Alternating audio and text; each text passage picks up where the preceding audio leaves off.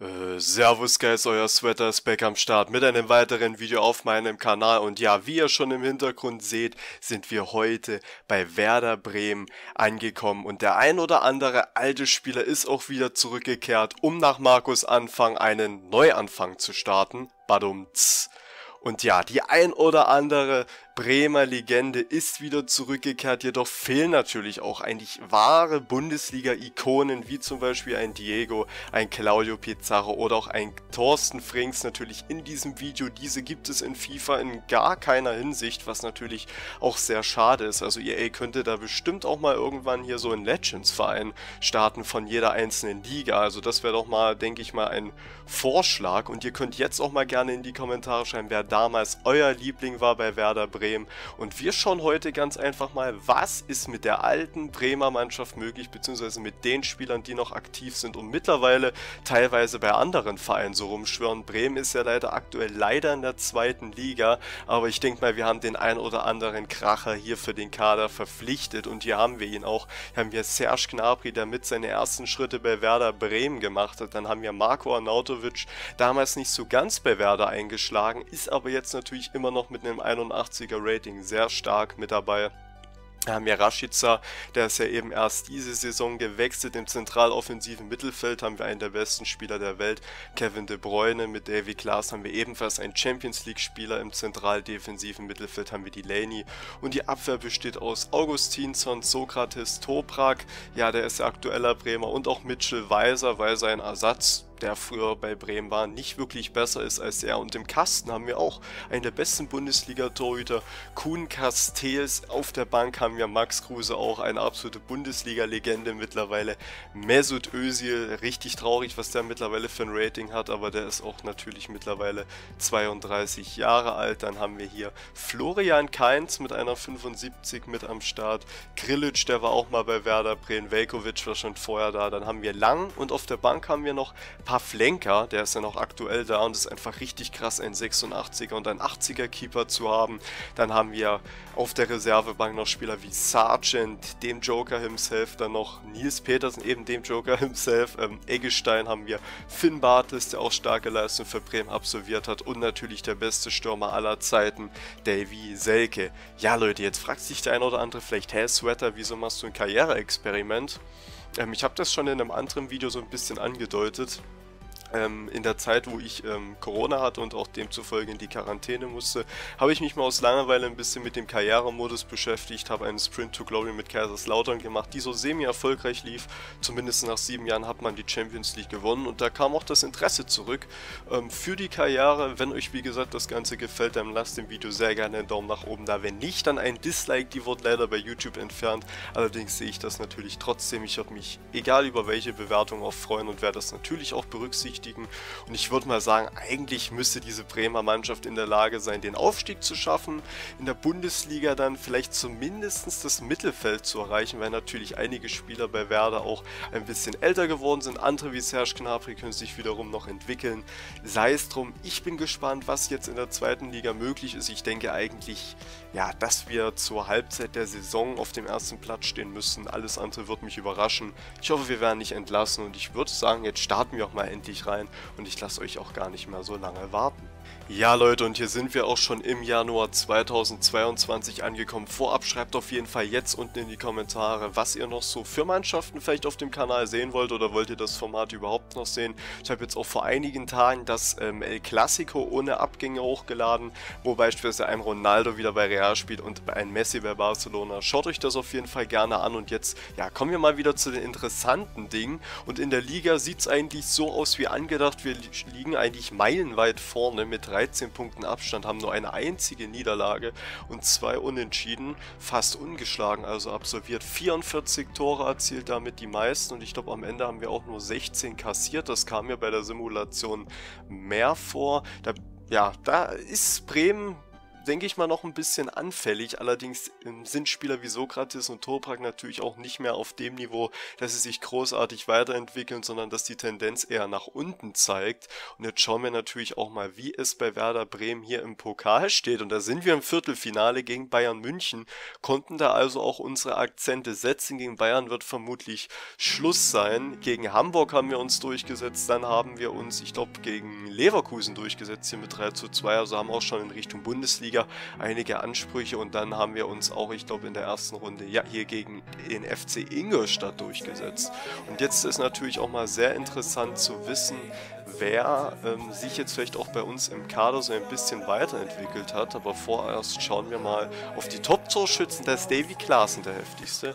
Damit hätte ich jetzt nicht gerechnet. Ich hätte vielleicht eben De Bruyne, der hier auf Platz 6 ist, getippt. Oder vielleicht auch einen gewissen Marco Arnautovic. Und da bin ich jetzt mal gespannt, wie es dem Kader so geht. Das sehen wir hier.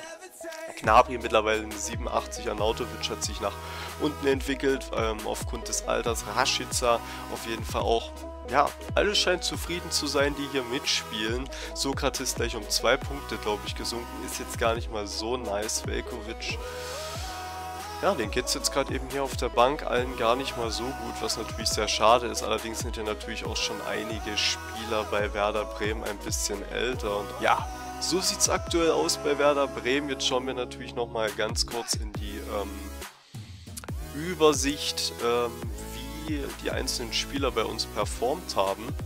Ihr merkt, das Ganze muss ich noch bei mir ein bisschen einspielen. Ich hoffe, ihr habt da noch ein bisschen Mitleid mit mir. Ähm, dass das vielleicht nicht alles so ideal funktioniert. Jetzt haben wir hier Davy Klaassen, 14 Treffer.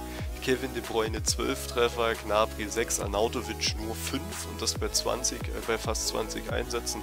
Dann Schmid hat aus irgendeinem Grund 19 Spiele gemacht, was ich jetzt eigentlich gar nicht nachvollziehen kann.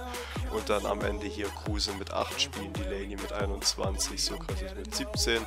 Bei den Vorlagengebern haben wir Gnabry mit 5, Klaassen mit 4 und auch De Bruyne mit 4. Das sind eigentlich so die interessantesten, würde ich mal sagen. Und ich bin gespannt, ob wir vielleicht am Ende der Saison überraschenderweise den Pokal Pokal holen und ich würde sagen, bis dahin. Ja Leute, und da sind wir auch schon im Juni 2022 wieder angekommen und ich bin mal gespannt, ja, wie lief es jetzt eigentlich in der Liga und im Pokal konnten wir weiterhin so dominant sein? Ja, ich glaube, wir konnten sogar unseren Vorsprung ausbauen, aber haben noch zwei Niederlagen kassiert und halt auch noch vier Unentschieden. Also man hat am Ende ein bisschen geschwächelt, dennoch 73 Tore erzielt, 33 Gegentore kassiert. Ähm, das ist auf dem Niveau vom FC St. Pauli. Also das muss auf jeden Fall in der Bundesliga natürlich am Ende noch besser werden. Aber das ist dann sowieso nochmal eine völlig andere Sache. Jetzt schauen wir natürlich noch, ja, wie sieht es denn im Pokal aus? Waren wir im Pokalfinale oder waren wir es nicht? Und wir schauen mal rein. Nein, wir waren es nicht. Borussia Dortmund gewinnt den Pokal. Im Halbfinale sind wir leider gegen Dortmund ausgeschieden mit einem 1 zu 3. Dennoch ein akzeptables Ergebnis. Wir haben uns dadurch natürlich auch gegen den FC Bayern München durchgesetzt und sind vielleicht auch so ein bisschen Anwärter nächste Saison auf den ein oder anderen europäischen Platz da oben. Da würde ich mich natürlich sehr freuen, wenn wir das erreichen könnten, denn gegen Bayern München München zu gewinnen, ist auf alle Fälle kein leichtes. Keine Ahnung, warum auch schon wieder das Manager-Rating so weit unten ist. Ja, wie geht's unseren Spielern? Äh, Gnabry geht weiterhin ab. Ähm, Arnautovic verschlechtert sich stetig. Dann haben wir De Bruyne, der bleibt stabil, genauso wie Klaassen und Delaney. Augustinsson, Friedel, Toprak und Weiser geht's noch gut. Ähm, Castells hat sich verbessert, aber was auf jeden Fall viel wichtiger ist, sind die Statistiken. Und da schauen wir natürlich erstmal auf die Tore. De Bruyne hat 20 Treffer erzielt, sogar vier Tore im Pokal. Klaassen ist zweitbester Torschütze. Arnautovic hat sich nochmal ähm, sehr stark gesteigert und ähm, darunter haben wir noch ähm, Serge Gnabry mit 11 Treffern und 7 Vorlagen, Delaney mit 7 Treffern und 3 Vorlagen. Also man sieht, die Spieler waren teilweise ein bisschen unterfordert. Ich hoffe, dass einige ihren Schnitt für die Bundesliga halten können. Und da würde ich sagen, simulieren wir auch schon dorthin und zwar in die Winterpause. Ja Leute, und da sind wir auch schon in der Winterpause im Jahr 2023 angekommen. Und jetzt schauen wir auch mal, wie sich Werder Bremen in der Bundesliga und wieder im Pokal geschlagen hat. Und das beachtlich. Wir spielen auf jeden Fall um die Champions League Plätze mit hier mit zwei 32 Punkten, 31 Tore, was auf jeden Fall sehr beachtlich und auch nur 18 Gegentore, also ist eigentlich schon fast so viele Gegentore wie in der zweiten Liga, eigentlich irre. Ähm, haben sogar weniger Gegentore als Bayern München, allerdings auch ein bisschen weniger Tore und ja, das sieht schon mal gut aus hier auf dem Weg Richtung Champions League. Und jetzt schauen wir natürlich auch mal, ob wir uns hier die Chance auf den Pokal weiterhin warm gehalten haben, denn wie wir ja wissen, ist Bremen ja auch eine richtig starke Pokalmannschaft, hat glaube ich die zweitmeisten DFB-Pokale in Deutschland gewonnen. Und das sieht auf jeden Fall schon mal gut aus. Wir haben uns hier in der Runde 3 mit 5 zu Nein, wir haben verloren. Richtig lost. Wir haben hier 2 zu 5 gegen Augsburg verloren. Ähm, da war ich gerade eben in der falschen Runde von uns beim Simulieren. Genau, ähm, wir haben 4 zu 5 gegen Hertha BSC gewonnen. Sind somit nicht im DFB-Pokal im Viertelfinale, was man hier auch eigentlich sofort sehen könnte. Man merkt, der gute alte Sweater muss sich hier noch so ein bisschen reinfuchsen in diesen Modus. Dann schauen wir auch mal auf die Truppe Arnautovic mit, äh, ja, sag ich mal, sinkender Motivation. Raschitzer bleibt stabil. Ähm, Gnabry verbessert sich weiter. Auch ein De Bruyne Design hat sich verbessert, sogar in Klassen. Und ähm, ja, das sieht doch schon mal ganz gut aus. Keine Ahnung, warum uns hier der gute alte Friedel so hatet, weil er ist ja eigentlich bei mir zumindest mittlerweile Stammspieler. Argo kommt jetzt für den guten alten Lang rein, der, denke ich mal, ganz gute Dienste hier in der Bundesliga vollbracht hat. Und ja, den Torhütern geht es an sich eigentlich auch allen ganz gut. Und damit würde ich sagen, simulieren wir mal ans Ende der Saison und vielleicht spielen wir nächste Saison ja auch schon international, was natürlich richtig geil wäre. Ja Leute, und da sind wir auch schon hier im Juni 2023 angekommen. Jetzt bin ich gespannt, ob wir uns hier für das internationale Geschäft qualifiziert haben und es sieht nicht so aus. Katastrophe, ey, wie konnte Bremen das verspielen? das ist natürlich sehr schade. Ich hätte mich sehr auf eine dritte Saison gefreut, hier in der Champions League oder auch in der Europa League zu spielen, aber das sollte uns hier an der Stelle verwehrt bleiben.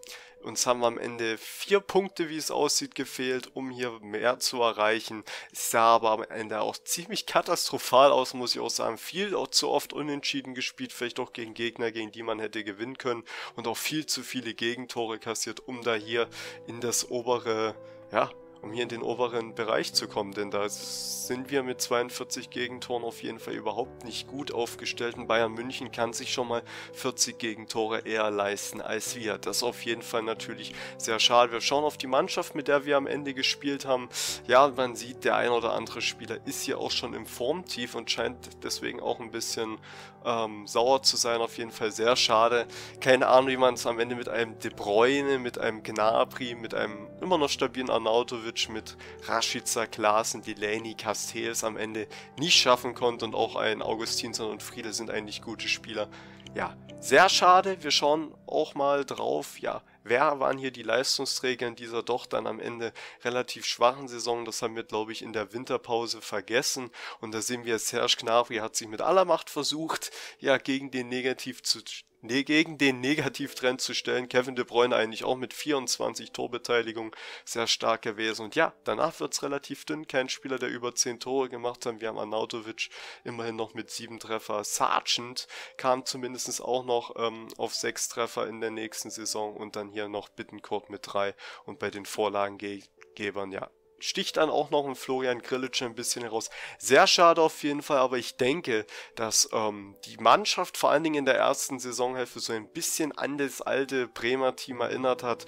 Sie haben ordentlich für Furore gesorgt als Aufsteiger in der Bundesliga und ich würde mal sagen, ja, wenn euch das Video gefallen hat, dann lasst dem Video sehr gerne einen Daumen nach oben da. Wie gesagt, es läuft vielleicht auch nicht immer alles perfekt, aber ich denke mal, das spielt sich so mit der Zeit ein, wenn ihr mehr sehen wollt. Hier sehen wir übrigens nochmal Serge Gnabry, Torschützenkönig wenigstens was. Ähm, ja, ich würde sagen, check gerne eins meiner letzten Videos ab. Ähm, Inspiration auf alle Fälle, so ein bisschen von DGTV, so ein bisschen von FIFA Tour etc. Aber das wisst ihr, aber ich finde, es ist immer noch sehr wichtig, das am Ende des Videos oder eigentlich auch am Anfang des Videos zu sagen und ich schreibe es euch natürlich auch noch selbstverständlich in die Videobeschreibung. Ähm, die sind da so ein bisschen ähm, ja, Inspirationsgeber, wenn man das so sagen kann. Checkt auf jeden Fall die Kanäle ab. Ich würde sagen, euer Sweater ist raus. Ich heiße nicht wirklich mit Vornamen Arnis, wie es oben links steht. Und damit würde ich sagen, macht's gut, haut rein und ciao.